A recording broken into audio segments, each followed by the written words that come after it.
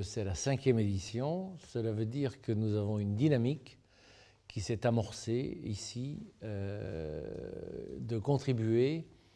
à la mobilisation de l'attention mondiale sur ce qui se passe à Darla,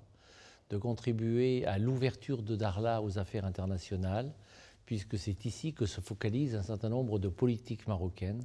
de développement qui doivent faire de Darla, dans les années qui viennent, la Tanger du Sud,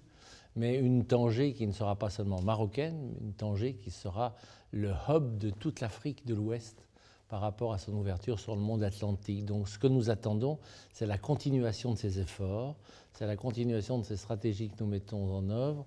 euh, de manière à ce que, année après année, euh, euh, le développement et le soutien apporté aux activités locales se concrétisent et se réalisent. Depuis à peu près 25 ans,